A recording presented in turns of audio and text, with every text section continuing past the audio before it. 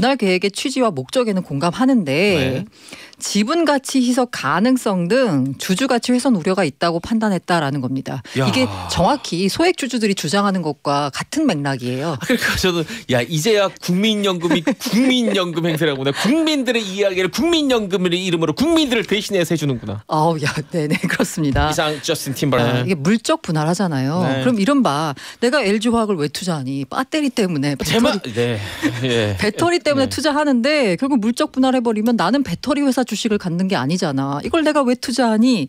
이건 마치 BTS 빠진 빅히트에 투자하는 거다. 우리가 페트병 만들려고 천만 원을 넣냐 이, 이거 이게요. 네, 그렇게 네네. 말하는 분들이 있다는 거죠. 이게 뭐 주식 투자하지도 않는데 이 뉴스를 왜 이렇게 중요하게 들고 왔느냐 보면 이게 우리의 기업 경영 행태가 바뀌는 굉장한 분수령이 음. 되지 않을까 싶어서 갖고 왔고요. 의미 있는 네. 국민연금의 액션이었다는 네. 말씀해 주셨고. 이제 이게 이제 이게 시사특공대. 시사특공대.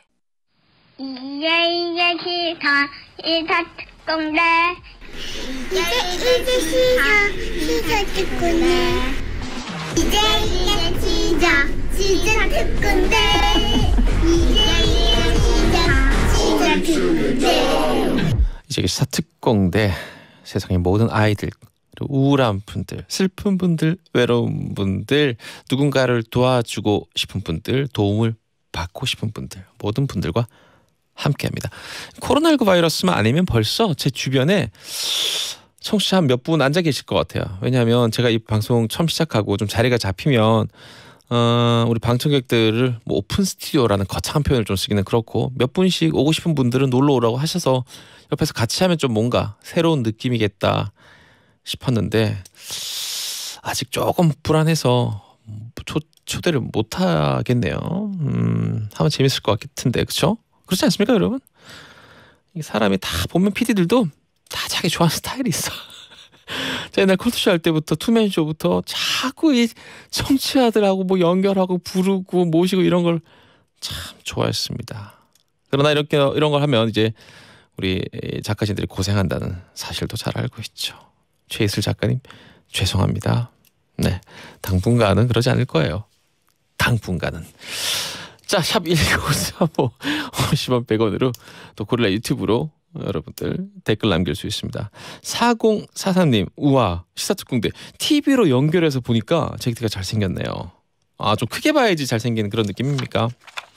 이성진님, 아, 잭디 형 표정이 왜 그래요? 뭘 그렇게 보고 있나요? 시청률 나, 아, 청취율 나왔나요? 어둠이 얼굴에 드리워져 있네요라고 제가 뭘 봤느냐? 아까 그 저스틴 티머레이크 닮았다 닮았다는 문자와 함께 사진을 보냈다 그래서 저희 카카오 이 채널로 찾아봤습니다. 어떤 사진인가 하고 봤더니 에이 이 저스틴 팀버레이크 전성기 때가 아니고 제일 저 좀 많이 망가졌을 때 사진 올렸네요. 그게 어딥니까?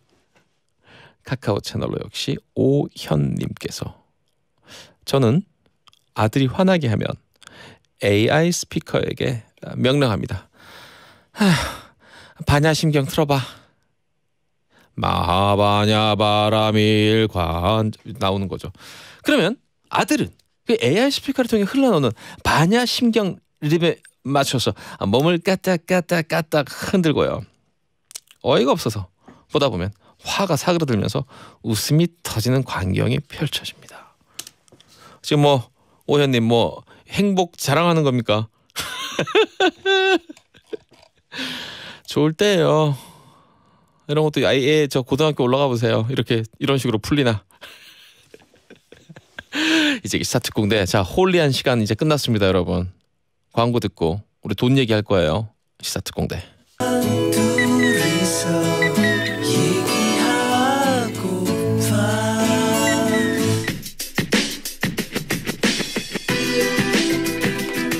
시사특공대 토요일 아, 수요일 사부입니다. 고란 기자와 함께 도란도란 경제 뉴스 살펴보는 시간이에요. 블록체인 미디어 조인디의 고란 기자 나와 있습니다. 안녕하세요. 네, 안녕하세요. 이 개인적인 팬들이 많은 것 같아요. 이성진 님도 아, 블록체인 미디어의 조인디의 고란 기자입니다 하는 인트로 끊지 말라고 했는데 우리 PD가 빼버렸습니다. 이거 원래 이 앞에 들어가 있던 거. 참 이렇게 청취자들 다 기억한다니까. 아, 네. 제가 그 육성으로 할게요. 육성으로. 네. 어, 그러니까요. 지금 소개하셨습니다. 자, 이- 이제 우리 처음으로 다룰 이슈는 제가 이 가치 판단에 철저히 배제하겠습니다. 미리 밝히는 건데 제가 주주예요. 그래서 이 저희 뭐 주장이 입김이 아. 들어갈 수 있으니까 요만큼이겠지만 갖고 있는 어, 주식 수도 요만큼이지만 일단 들어보겠습니다. LG 화학 배터리 분할하는 얘기는 워낙 뉴스가 많이 됐기 때문에 보셨을 텐데 이 결정 과정에 있어서 어, 대주주 중에 하나인 국민연금이 반대 의사를 밝혔어요. 음, 국민연금이요 어제 어, 반대 입장을 내놨습니다. 참고로 국민연금은 2대 주주 10.3% 들고 있고요. 네. 사실 코스피 한 100대 기업 가운데 웬만하면 국민연금이 5% 이상 들고 있습니다. 그렇겠죠. 워낙 크니까. 그리고 삼성전자의 최대 주주도 사실 국민연금이에요. 음. 삼성전자가 이건희 회장, 고 이건 회장, 이재용 일가 거냐 하면 정확히 말하면 국민연금 겁니다. 음. 네, 최대 주주를 보자면요. 그런 정도로 국민연금이 어쨌든 지분이 많은데요. 규모가 워낙 크다 보니까 참고로 이제 어, 금요일 날 임시 주주총회를 열어가지고 LG화학이 배터리 사업을 별도 법인으로 물적 분할한 내용의 안건을 처리할 예정입니다. 네. 요걸 앞두고 이제 뭔가 이렇게 큰 몫의 지분을 들고 있는 투자자들한테 이 투자자들의 의견을 표시해요 자기가 그렇죠. 이렇게 의견을 표시하는 이유는 뭐냐면 먼저 의견을 표시하면 자 내가 이 길을 갈 터니 소액 주주들은 나를 따르라 약간 이런 의미 거든요 음. 그래서 국민연금이 먼저 밝히는데요 다 찬성 내놓을 줄 알았는데 갑자기 어제 반대 입장을 내놨습니다. 속보로도 계속 뜨더라고요. 네, 이게 어제 수탁자 책임 전문 위원회를 열어서요. 분할 계획의 취지와 목적에는 공감하는데 네. 지분 가치 희석 가능성 등 주주 가치 훼손 우려가 있다고 판단했다라는 겁니다. 야. 이게 정확히 소액 주주들이 주장하는 것과 같은 맥락이에요. 아, 그러니까 저는 야 이제야 국민연금이 국민연금 행세라고 나 국민들의 이야기를 국민연금의 이름으로 국민들을 대신해서 해주는구나. 아우, 야, 네네 그렇습니다. 이상 저스틴 팀버레이크였습니다. 네, 이 참고로요, 이 국민연금도 사실 굉장히 많은 홍역을 치렀잖아요. 네. 그래서 국민연금의 이른바 기금운용 본부장 지냈던 분도 이제 저기 갔다 오시고 네. 막 이런 일이 있다 보니까 웬만하면 그냥 결정 안 하고요, 수탁자 책임 전문 위원회 뭐 이런 걸 열어 가지고 네. 최대한 책임 소지를 없애도록 결정을 합니다. 여기저기서 얘기를 듣고 나서 결정한다는 거죠. 네. 근데 그런데, 이게 어, 그래서 이제 국민연금이 갑자기 반대를 되니까 LG화학이 사실 상당히 당황했어요. 음, 이게 기관 투자자들이 이런 중요한 의사 결정을 할때 요 그냥 하지 않습니다. 음. 이른바 그 의결권 자문사들이라는 곳이 있어요. 네. 이런 걸 이제 뭔가 뭔가 어떻게 결정해야 되냐 나오면 그냥 하지 않고 여기 물어봅니다. 음. 이런 곳은 이런 것만 연구하는 데예요. 별대가 다 있네요, 네, 진짜. ISS 글래스로이스 한국 기업 지배 어, 연구원 이렇게 있는데 ISS 글래스로이스는 이제 글로벌 기관이라서 주로 이제 외국인 기관 투자자들이 많이 참고를 합니다. 네. 우리나라 국민연구도 물론 ISS 등 참고하고요. 국내에선 한국 기업 지배 연구원 이런 곳이 있는데 여기가 약간 메이저라고 볼 수 있는데 음. 이들이 다 찬성 의견 냈어요. 음, 음. 딱한 곳이 있다면 서스틴베스트라는 곳이 있는데 서스틴베스트 여기가 약간 좀 마이너 업체예요. 근데 음. 여기가 21일 날 반대한다 라고 냈어요. 네. 하지만 지금까지 통상적으로 봤을 땐 이렇게 메이저 의결권 자문사들 얘기를 들었었거든요. 그러니까 기관은 당연히 찬성하겠지 했는데 갑자기 반대가 나와서 깜짝 놀란 거죠. 그렇죠. 알겠습니다. 일단 그자 문제 삼은 근거는 그럼 뭡니까? 뭐가 문제라는 겁니까? 그 소액주들이 주장하던 것과 정확히 일치합니다. 네. 이게 물적 분할하잖아요. 네. 그럼 이른바 내가 LG화학을 왜 투자하니? 배터리 때문에 배터리, 제마 네. 예. 배터리 때문에 네. 투자하는데 결국 물적 분할해버리면 나는 배터리 회사 주식을 갖는 게 아니잖아. 이걸 내가 왜 투자하니? 이건 마치 BTS 빠진 빅히트에 투자하는 거다. 우리가 페트병 만들려고 천만 원을 넣냐 이, 이거 이게요. 네, 그렇게 네네. 말하는 분들이 있다는 거죠. 네. 근데 이제 뭐 기관들이나 아니면 LG 화학 회사 입장에서는 아니야 장기적으로 보면 이게 다 회사 이익에 도움이 되는 거고 어차피 LG 화학을 통해서 배터리 자회사 지분을 간접적으로 보유한다 하고 있지만 네. 사실 지분 가치 희석은 이제 피할 수 없는 거고요. 이게 또 문제가 되는 게 뭐냐면요. 사실 뭐 예를 들어 제가 한번 설명해 볼게요. 애플이 아이폰 장사를 엄청 잘해요. 아이폰 네. 엄청 많이 팔았어요. 근데 원래 애플의 영업 형태는 사실 PC 파는 거였잖아요. 그렇죠. 컴퓨터. 맥킨토시 네. 컴퓨터 파는 거였죠. 근데 갑자기 아이폰이 잘 팔라. 음. 그러니까 아 우리가 더 투자를 유치받고 뭔가 이 사업에 집중하기 위해서 주 아이폰 회사를 만든다고 쳐요. 예를 들어서 네. 그러면 이렇게 되면 사실 그 주 아이폰 만든 회사는 시장에 상장하지 않습니다. 음. 예를 들어서 구글이요. 지금은 현재 구글이 아니라 그 알파벳과 알파벳이요. 구글로 분할했잖아요. 근데 지금 현재 시장에 상장된 건 모 회사인 알파벳이 상장돼 있습니다. 음. 구글 자회사는 상장이 돼 있지 않아요. 네. 왜냐하면 자회사와 모회사 주주 간의 이해관계가 충돌일 수 있거든요. 네. 그렇기 때문에 영미 자본주의 국가에서는 사실 모회사가 상장을 하면 자회사가 상장을 안 하는 구조입니다. 음. 근데 지금 LG 화학은 모회사도 상장하고 자회사들 또 상장시키겠다는 거잖아요. 그 에너지 솔루션을 곧뭐 내년 빠르면 내년에 네네네. 상장시키겠다는 계획을 이미 얘기해 버렸잖아요. 네, 맞습니다. 아, 죄송합니다. 또이 자꾸 감정이 실리네요. 알겠습니다. 이 그, 저 음. 중요한 거는 좀 너무 이제 어려운 표현을 쓰니까 그건 생략을 하고 이 통과되느냐 안 되느냐가 문제인데 아까 2대 주자로 약간 음. 네네, 10%라고 맞습니다. 어. 했는데 LG 화학이 이미 3분의 1 갖고 있잖아요. 네, 맞습니다. 제가요, 어제 저도 속보를 보고서, 와, 오늘 주식 진짜 오르겠다. 네. 사실 저도 전 주주였습니다. 그런데 사실 뭐 예견을 한건 아니고요. 이거 발표 전에 제가 팔았거든요. 좀 많이 올랐다 싶어가지고. 아, 그러니 좀 미리 했. 네, 그래서. 근데 저는 이걸 보면서 괜히 팔았네. 약간 이런 생각이 들었거든요. 아, 저는 아, 잘 들고 있었네라고 생각했는데.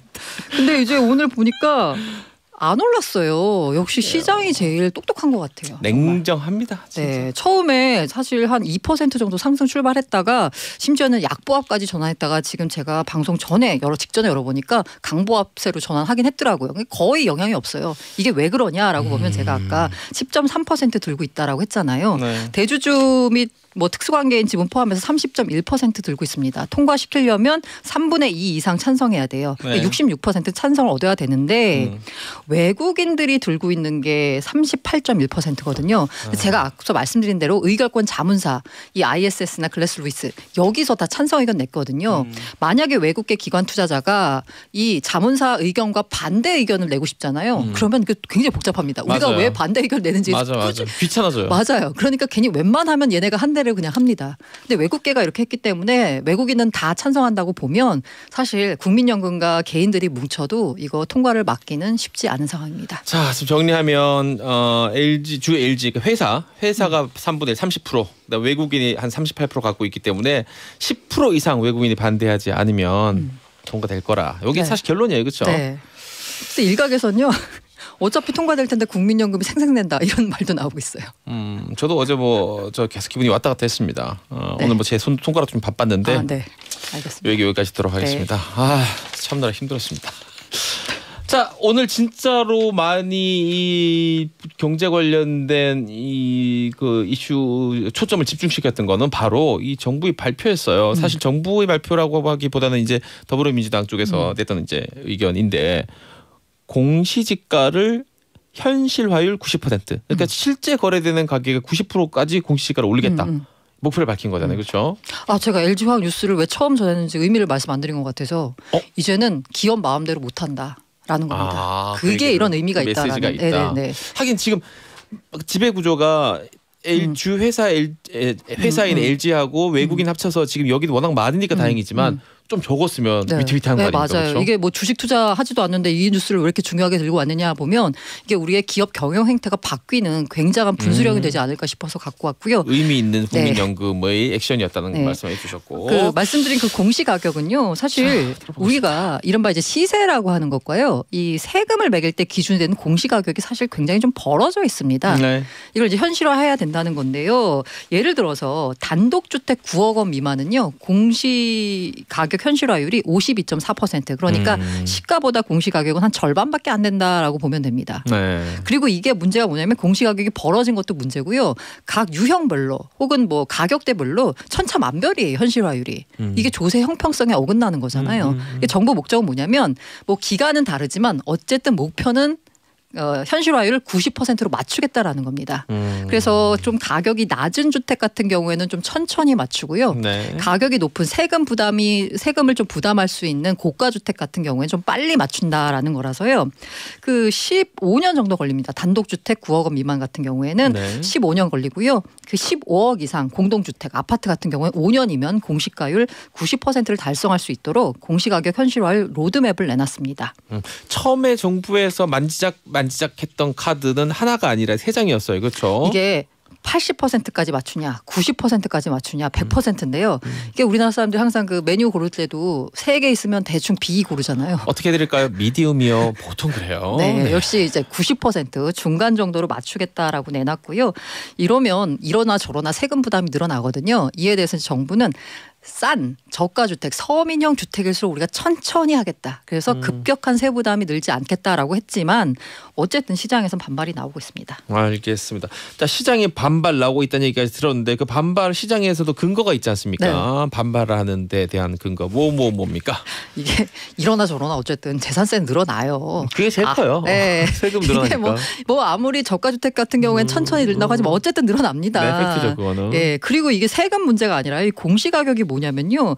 그 부동산 보유세, 재산세, 종부세 그리고 여기에 증여세. 음. 가장 이게 약간 핵- 핵심이 되는 게 약간 건강보험료. 이 네, 지역가입자회 건보료. 같은 경우는 건보료 부담이 좀 상당하거든요. 네. 심지어는 장학금 낼 때도 이게 좀 기준이 됩니다. 장학금 거면 때도. 모든 거의 기준이라고 보면 돼요. 네, 한 재산 60개 판단하는데. 정도 기준이 돼요. 음. 그러다 보니까 공시가격이 오르면 이렇게 영향받는 게 너무 많거든요. 어쨌든 돈을 많이 부담해야 되니까 예, 말이 많고요. 게다가 이제 이분들 같은 경우에 이제 은퇴하고 나선 1주택자들 네. 은퇴해서 지금 현재 현금으로는 없어요. 그런데 음. 굉장히 비싼 예를 들어서 아파트에 살고 있다라고 치면 이분들 같은 경우에는 세금 부담이 상당히 많아집니다. 예를 들어 보면 이른바 강남이 이제 만들어진 게 한 1970년대 초반부터 음, 음. 중반까지 이런 뭐 저층 중층 아파트가 대규모로 막 몇천. 세대씩 지었어요. 많은 곳 막 6천 세대짜리도 있는데 그분들 중에 꽤 많은 분들은 한 30년 살다가 음. 4, 50대 한참 사회활동 활동 열심히 하다가 지금 노년층이 돼가지고 재건축도 되고 그냥 앉아 있는 음. 네네네. 많은데 사실 그분들은 도저히 감당이 안 되죠. 이걸 두고서 그럼 또이뭐 일각에서는 아니 그러면 팔고 싼 데로 이사 가면 될 거 아니냐 그렇게 부담이면 라는 얘기가 나오는데 또 이분들 입장에 생각해 보면 내가 살았던 터전이잖아요 몇십 년 살았던 네, 쉽지는 않죠 이사 가는 그게 터 이사 가는 게 쉽지가 않아서 어쨌든 간에 이제 예상치 못한 사회 문제가 생길 수도 있다 이런 얘기가 나오고 있고요 음. 두 번째가 저는 좀 심각하다고 보는데 음. 만약에 집값이 떨어지면 어떡하냐 하는 거예요 그러게요. 네. 우리 왜냐하면 지금 현재까지 그래프만 봐도 2020년 동안 이 음. 21세기만 봐도 오를 땐팍 올랐지만 경제 위기 불과 한 10년 전인데 그땐 또 엄청 떨어졌었거든요. 지금 공시가에 현실화할 로드맵은 집값이 뭐 물가 상승률 정도는 계속 상승한다라고 보고 설계된 거거든요. 음. 근데 만약에 급등했다가 이게 만약 급락할 경우에 시세보다도 훨씬 더 많은 세금을 내야 된다라는 좀 문제가 있습니다. 근데 음. 이에 대해서 또 어떤 또 반론이 있냐면 지금까지 덜 내왔잖아. 그러니까 앞으로 뭐 그 더 낸다고 생각해라는 뭐 얘기도 있는데요. 어쨌든 이런 문제가 나오고 있고요. 세 번째는 이거는 뭐 가능성인데 세입자가 더 힘들어진다. 어쨌든 이렇게 세금 올리면요 집주인들은 세입자한테 자꾸 전가하게 되죠. 네, 네. 전가시켜요. 이건 뭐 우려인데 실제로 이런 게 몇 차례 나타나고 있어가지고 이게 문제가 되고 있고요. 마지막으로 좀 나온 얘기는 약간 철학적인 문제인데 이 세금을 얼마를 매길 것이냐는 입법부의 권한입니다. 네. 소득세로 정하는 거거든요. 소득세법으로. 그런데 이거는 그 행정부가 공시가격 인상을 통해서 세금을 더 거두려 가려는 거 아니냐 이런 조세 법정주의를 어기는 거다라는 해석까지 나오고 있습니다. 음. 지금 봐 이른바 이- 이른바 그 너무 돈을 많이 쓰니까 정부가 이 음. 증세를 이런 식으로 한다라는 얘기가 나오는 거죠. 그래서 국토부 관계자는요 아직까지 연구 영역 수준이고 최종 방안 확정되지 않았다. 우리가 부작용이 없도록 보완 조치 마련하겠다라는 입장입니다. 이 타이밍이 중요한데 아까 제가 어, 저 고란 기자님께서 이 이야기 설명해 주시기 전에 이 더불어민주당에서 음. 여러 가지 얘기했던 의견이라고 했던 건 그동안 계속 이제 군부를 지피듯이 얘기 이제 많이 했었죠. 네네. 정치인들 입에서도 많이 나왔었고 또 지금 이제 그 내각에 있는 음. 장관들도 정치인 출신이잖아요. 네네. 국토부에서도 또 하나는 아까 오전에 이 문재인 대통령께서 이제 시정연설 네네. 했는데 거기서 이 얘기를 꼭 집어서 하진 않았지만 음. 결론은 더 많은 세금이 필요합니다라는 이야기였기 때문에 어제 밤 오늘 이어서 네. 사실 이게 이제 이어지는 부분이라서 음, 좀더 살펴봐야 될 부분이 많은 것 같습니다. 물론 당연히 음. 코로나19 관련해서라도 앞으로 세금이 더 많이 필요하겠죠. 네, 좀더 네. 길어질 것 같기니까 이해는 합니다만 국민들이 어, 좀 최소한으로 그 필요함 세, 음. 저, 피- 세금에 대한 저항감을 줄였으면 좋겠다는 음. 생각은 듭니다. 그리고 아까 그 마지막 건 조금 어려운 부분이니까 음. 같이 또 설명을 해드리면 그런 얘기잖아요. 이 세금에 관련된 거는 국회에서 동의해서 법으로 처리를 네 해야 되는데 맞습니다. 공시지가라는 건 그 세금이 기준이 되는 걸 올리면 실질적으로는 법을 바꾼 거랑 똑같은 결과 나온다. 맞습니다. 예, 그렇죠. 네. 그런 얘기죠. 알겠습니다. 자, 이런 관련돼서 행정주 무처를 이끌고 있는 총사령관이라고 할 수 있죠. 네. 홍남기 경제부총리 관련해서는 또 다른 이슈가 있어요. 네네. 뭐 이분 같은 경우에는 사실 아, 해임 정원이 20만 명을 돌파하기도 했어서 상당히 좀 곤란하실 텐데. 이건 안팎으로 상당히 좀 힘든 게 네, 많습니다. 네. 예. 부동산 관련해서 말씀드리자면 제가 수요일 날 올 때마다 부동산 얘기 많이 해드린 이유가 있다. 수요일이 바로 부동산 시장 점검 관계장관 회의가 열리는 날이다라고 말씀드렸잖아요. 네. 이 공시가격 올려가지고 결국 세분함 늘리는 거 아니냐 비판이 나오니까 오늘 홍남기 부총리도 얘기한 게 아니다. 그러면 이제 어- 뭐라 그러냐 중저가 주택을 보유한 1주택자의 재산세가 늘지 않도록 세율 인하를 추진하겠다라는 입장을 내놨거든요. 그런데 여기서 이제 음. 얘기가 되는 게 뭐냐면 이 중저가 주택의 기준이 뭘까가 사실 또 이게 정해야 돼요. 네. 아직까지 나온 건 없습니다. 네. 6억이다 9억이다 말이 많은데요. 네. 어쨌든 이 일에 대한 세부담은 낮추겠다라는 얘기가 나오고 있고요. 그리고 최근에 또 나오는 게 이 전세 시장 되게 불안하고 이른바 3040들의 패닉 바잉 얘기가 많이 나오고 있잖아요. 네. 실제로 이게- 그렇죠. 보여주는 통계 네. 숫자가. 예. 이걸 막기 위해서 오늘 또 약간 내놓은 정책이 뭐냐면 지분 적립형 분양 주택을 내놓겠다 이런 대책도 내놨습니다. 아, 들어봅시다. 뭐 주- 정책 또 내놨으니까 사실 저는 이제 제발 그 새로운 정책이 안 나오길 바라던 사람 중에 한 명이었는데 네네. 또 냈으니까 살펴봐야죠 우리가. 이게 뭐 갑자기 나온 건 아니고요. 824 대책 나올 때 지분 적립형 분양 주택을 내놓겠다라고 했는데 약간 구체적인 구체안이 오늘 공개가 된 건데요. 이게 뭐냐? 일단은 분양을 받는데요. 내가 네. 이거 지분 다 갖는 거 아닙니다. 음. 토지나 건물의 20에서 25%만 갖는 겁니다. 네. 예를 들어 10억짜리 아파트다라고 하면 나의 지분은 우리가 뭐 그냥 농담으로 그런 얘기 하잖아요. 음. 집을 샀는데 뭐 국민은행이 뭐 6억이 고 그렇죠. 뭐 우리 화장실은 신한은행 거니까 인사하고 써막 이런 얘기 농담처럼 농담으로 하는데 진짜 들어오면. 그건 거예요. 네. 그러니까 내가 10억짜리 아파트 사면 2억만 내 거고요. 나머지 8억은 그 뭐 주택보증공사나 뭐 정부 겁니다. 뭐 간단히 말하면 네. 네네네. 그리고 입주를 합니다. 그러면 여기다 나머지 내가 2억만 내 거고 8억은 남의 거잖아요. 정부 네. 거잖아요. 네. 그럼 정부한테 임대료를 냅니다. 그 8억 원에 대한 네, 8억 원에 대한 임대를 내는 뭐, 거죠. 어, 세금이든 월세든 뭐 네. 그러면서. 이제 4년마다 내가 10%나 15%씩 균등하게 내 지분을 추가적으로 취득을 합니다. 음. 그래서 이걸 그래서 20에서 30년 후에는 주택을 100%내 거가 되는 거거든요. 네. 이게 간단히 말하자면 아 집을 분할로 산다, 할부로 산다라는 음. 느낌으로 생각하시면 될 것 같아요. 음, 집을 국가로부터 할부로 산다. 이렇게 하는 목적이 뭐냐면 아까 말씀드린 대로 이 패닉 바잉에 나서거든요. 자금력이 부족한 이들이 연끌해가지고 집 사는 거예요. 음. 이렇게 되니까 이들 세 수요가 또 약간 매매 시장을 또 불안하게 만들고 이러다 보니까 이건 어쨌든 간에 뭔가 자금력이 딸린 사람들부터 이제 내 집 마련 꿈에 있어. 근데 자산은 부족해. 근데 패닉 바잉에 뛰어들지 말고 천천히 살면서 내 집을 마련해라라는 목적이거든요. 음. 근데 이게 이러는 거나 저런 거나 언제나 중요한 건 물량이에요, 물량. 그게 문제죠. 핵심이죠. 네. 이게 정말 이 지분 적립형 분양 주택이 대규모로 공급이 되고 이른바 저기 어디 진짜 서울까지 출퇴근에만 막 두 시간 넘게 걸리는데 되는 게 아니라 음. 좀 뭔가 이렇게 접근성이 좋은 이른바 사람들이 살고 싶어 하는 지역에 대 량으로 공급이 돼야지 시장이 안정이 되거든요. 네. 그런데 이거에 대해서는 아직 구체적으로 뭔가 나온 건 없어요. 그리고 음. 지금 현재 그런 공공 택지나 공공 재건축 물량이 얼마나 되냐를 보면 사실 그렇게 많지가 않거든요. 그러게요. 시장을 안정시킬 수 있을 정도의 물량을 어떻게 확보하느냐 이게 핵심인데 이에 대해서는 뭐 아직까지는 구체적으로 뭔가 나온 게 없습니다. 어쨌든 정부 입장은 우리가 이런 걸 내놓을 테니 페이크 바잉 페이크 바, 패닉 바잉하지 마세요라는 음. 입장인 겁니다. 이게 청년 주택도 네. 그랬지만 막상 시행해 보니 아, 얼마 되지도 않고 1번. 음. 2번 생각했을 때보다 너무 별로고 음. 차라리 민간 주택이 더 낫고 네. 이런 이유로 청년 주택 같은 경우 경쟁률이 1.1 음. 1이 안 되는 경우도 음. 허다해요 지금 음. 보면 지금 저도 봤거든요. 그리고 몇 달 전에도 이 지금 임대주 임대 임대주택 임대 세대들이 음. 이제 늘린다고 정말 서울지도 펴놓고 온 수백 명이 달려 들어가지고 막 하나로 찾아냈죠. 하나로 이제 발굴하듯이 네. 했- 발골하듯이 했는데 이 지분 적립형 분양 주택은 또 어디다 음. 지을 것이냐라는 저는 이 뉴스와 아까 공시지가 현실화를 보면서 그리고 또 들었던 의문이 아주 되게 네. 마이너한 의문인데요. 그러면 이거는 보유세를 지분만큼만 내나? 약간 이런 생각이 들더라고요. 그렇게 생각 못했는데 네.